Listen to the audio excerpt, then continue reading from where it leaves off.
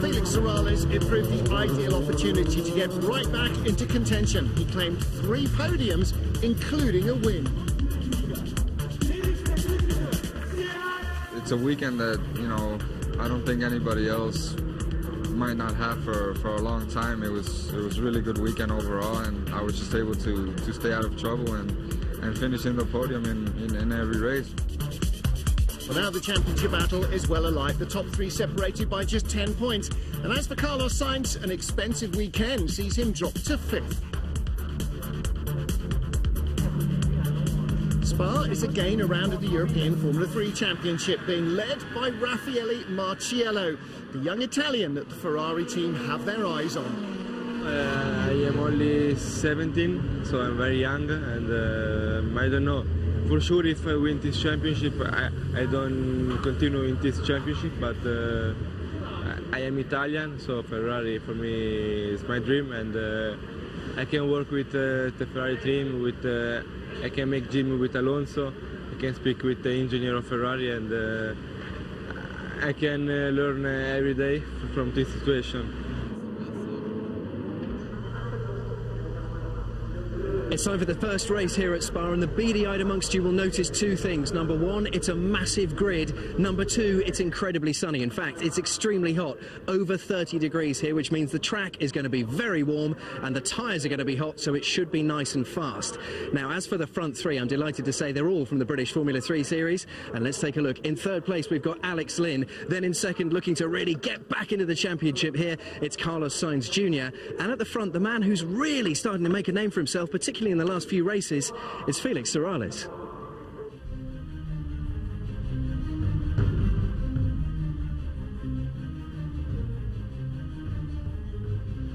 Round 18 of the Cooper Tires British Formula 3 International Series. An inspirational pole for Felix Serralles ahead of all the British and European rivals. Carlos Sainz Jr. outside front row from Alex Lynn. Good start from the two Fortec men. Three Fortec men on the right-hand side of the grid.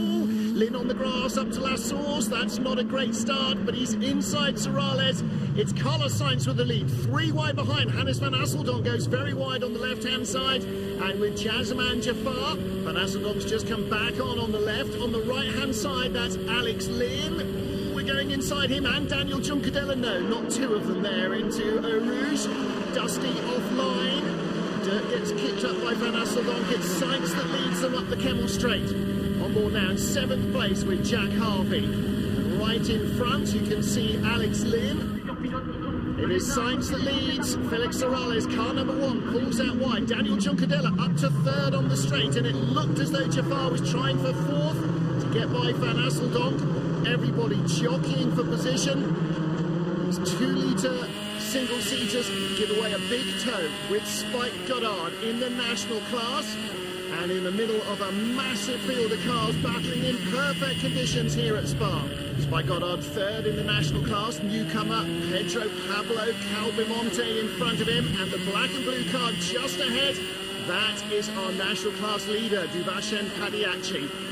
And look at this for a view, sweeping down into Pouhon, flat out almost in top gear. Oh, drifting out wide onto the dirt. It's very dirty out there.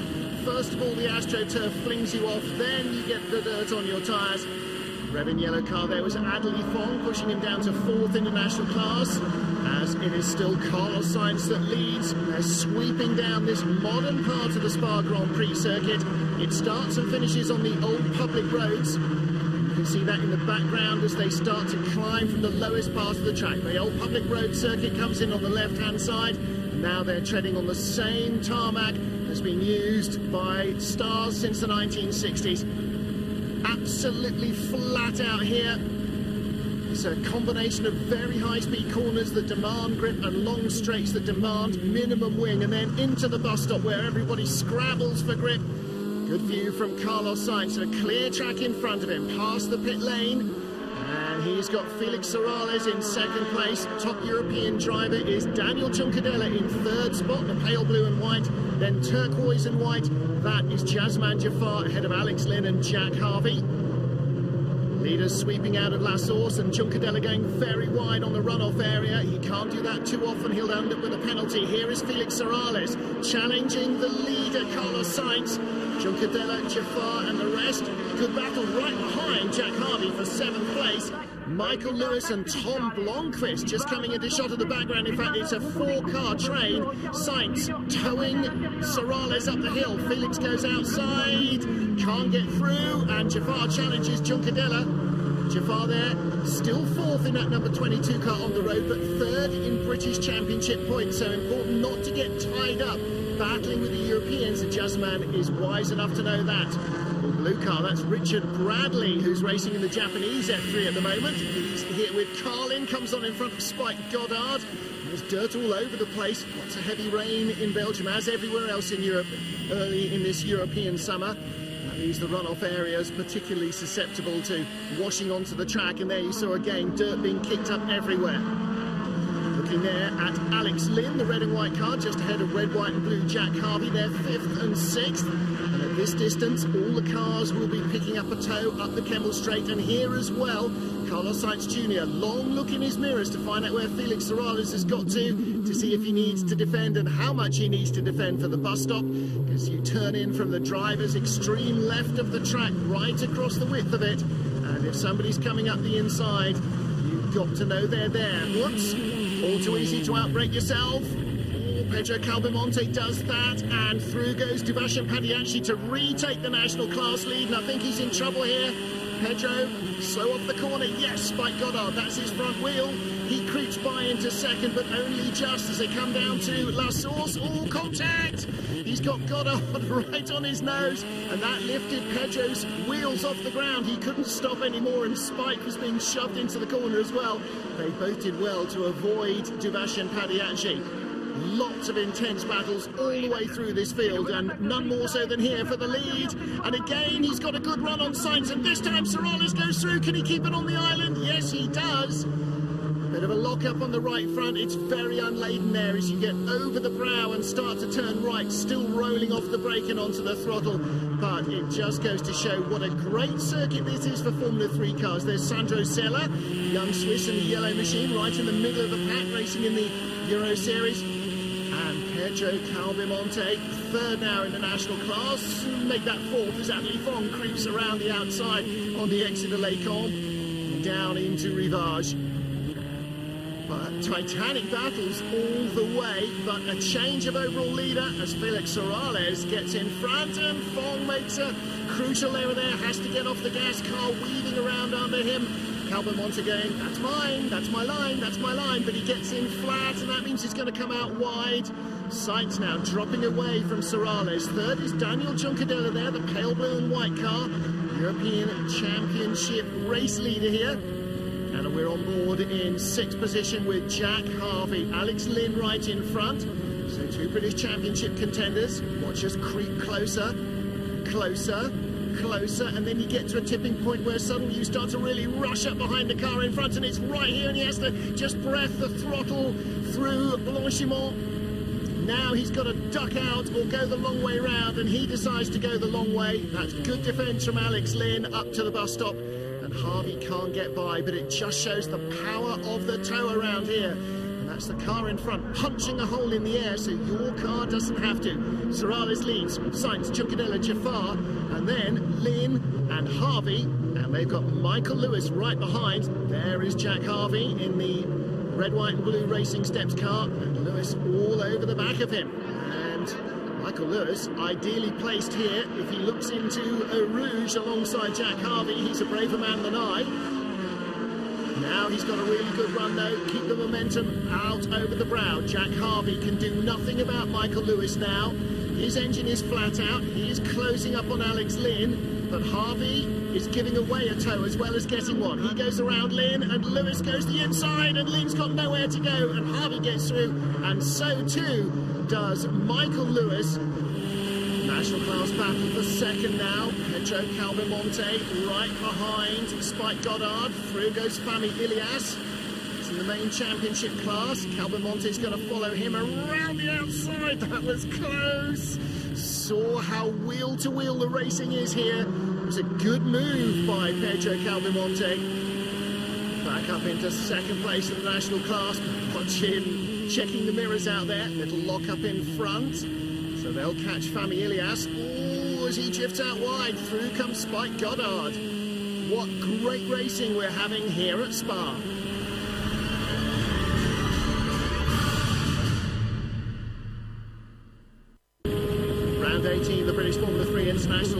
Spa, rushing up to the bus stop with Jazeman Jaafar right in front, of the battle for second in this first race of the weekend. Daniel Juncadella, you can just see the tail of his blue and white car attacking Carlos Sainz Jr. Now, both of those racing in the European Formula 3 Championship, but Sainz, the yellow nose, his main focus is the British Series. So actually, he could let Juncadella go if he had to. The race leader heading off down the hill in the red and white car, that's Felix Serralles, the young Puerto Rican who's already got three race wins under his belt in his rookie season. Not just a British racing, but a Formula 3 racing. Now, Juncadella with the tow on Sainz. Good exit from Eau Rouge is vital. Sainz takes a long look in the mirrors. This is pretty much impossible to defend. The guy behind just uses your car to slingshot him up the straight and around the outside or up the inside. There's nothing you can do. Juncadella up to second. Sainz doesn't lose any British Championship points, but he does go a little fraction behind Juncadella in the European F3 Series that he is also contesting. And half the field pretty much European contesters, but in the national class, the battle for second is on again. Spike Goddard came out of Eau Rouge in second, but at the top of the straight that follows it, it is Pedro Pablo Calbimonte who is back up into second position. Again, Calbimonte first taste of British Formula 3 International Series racing, and what a track it which to experience it. And again, he's going to have to work on the exit of Les By God, I come straight back down the inside into Rivage, just as he did last lap. On board with Jazeman Jaafar, right in front of him, championship rival Carlos Sainz. Is the battle for third on the road. Again, the red and white car, Felix Serralles leading from top European driver Daniel Juncadella. Carlos Sainz Jr. in the 31 car really needs to try and keep Jazeman behind. He needs to try and get Felix Serralles behind him as well. But the Spaniard seems to have just lost that little bit of sparkle, that tiny, indecipherable edge that kept him nosing in front of the field early in the season. After this, there'll still be another 10 races to go, so it's not even two-thirds distance, but you cannot afford to give any points away. In a way, this is a little bit like Formula One. So many different winners and so many different point scorers that the tiniest advantage may end up being absolutely crucial when it gets to payday and handing out the championship. Jazeman Jaafar at the moment knows he's ahead of Sainz in points and could do with getting in front of him again. Once more with Calbimonte up the Kemmel Straight. Guess who's coming alongside? No, this time it's Adderley Fong. Tries to slipstream up alongside the Bolivian driver. Can't quite find the gap he needs. There is Jazeman Jaafar with Jack Harvey up behind him. Jaafar just dropping back a little from Carlos Sainz. Now can Jack Harvey use this opportunity to close in? He's in fifth position at the moment. Jaafar in front of him in fourth.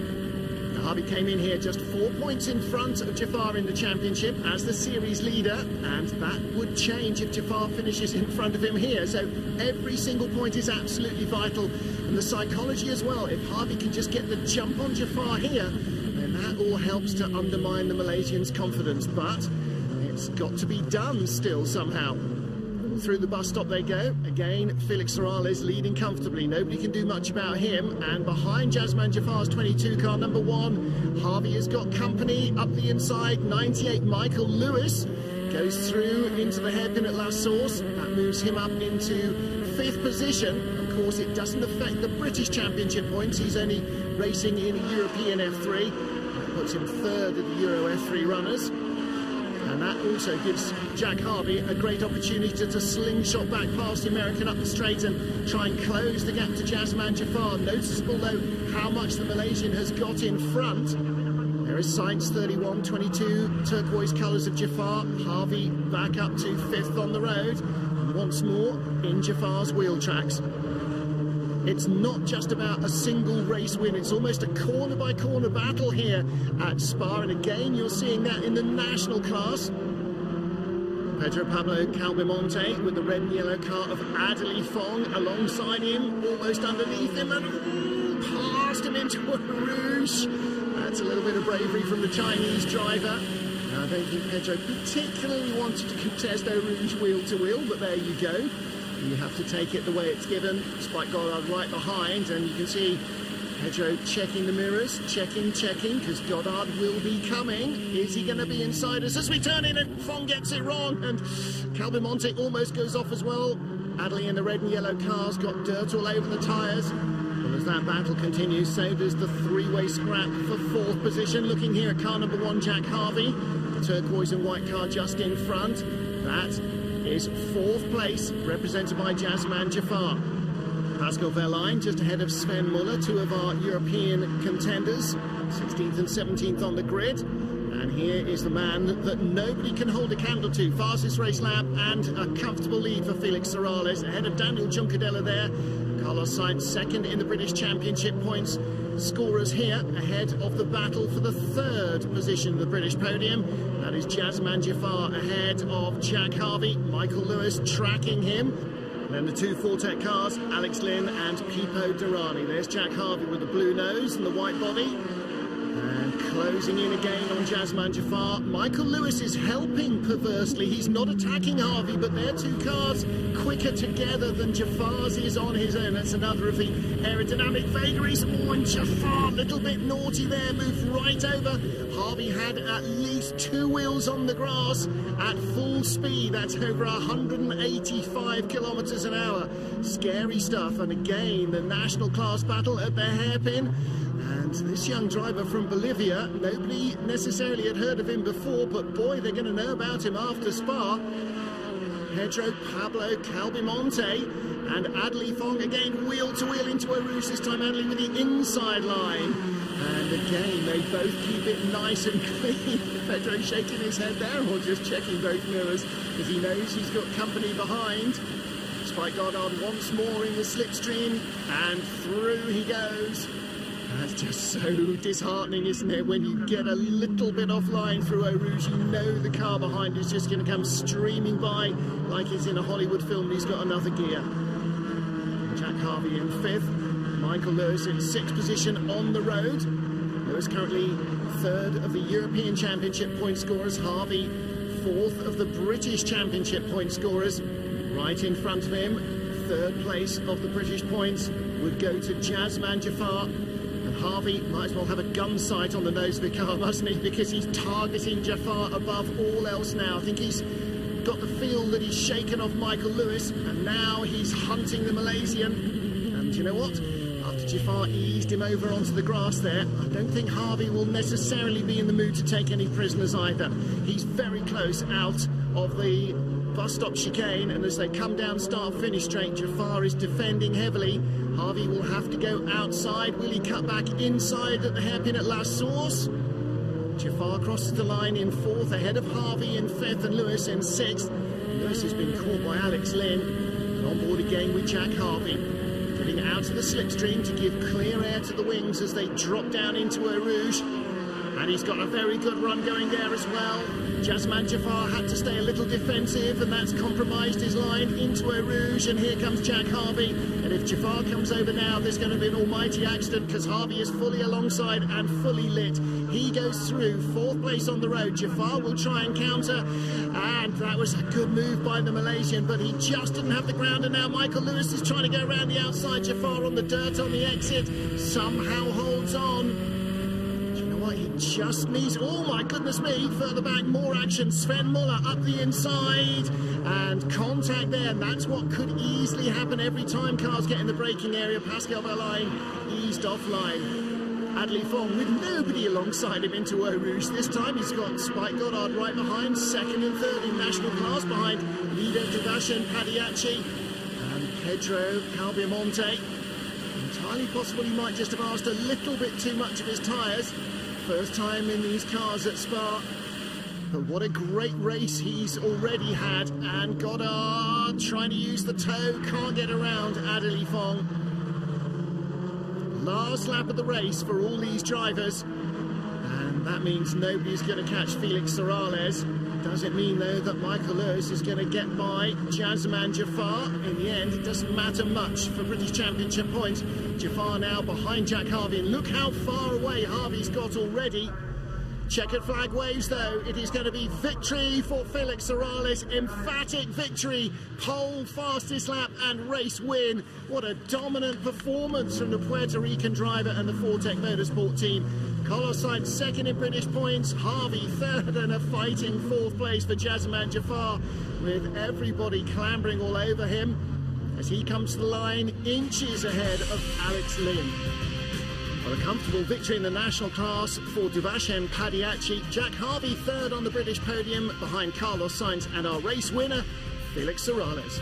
I didn't expect that we would have so much grip in the rear in the start, but um, I was able to keep P2 into the first corner, and I wasn't very uh, worried about it because it's all about the slipstream here. So up to the third lap, I was able to pass Sainz and pull away pretty much.